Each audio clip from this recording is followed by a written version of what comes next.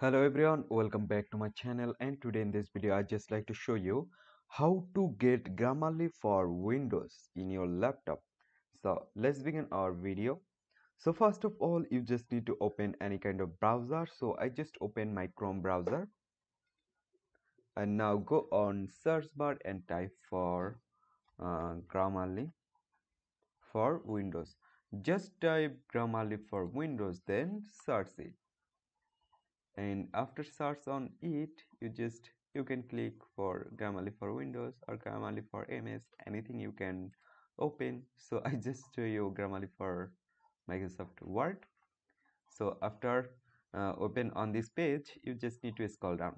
And here you can see it's there have a option Grammarly for Windows. Just open on it.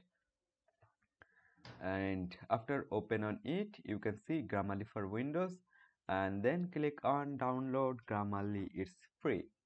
So in this way you can download Grammarly for your Windows.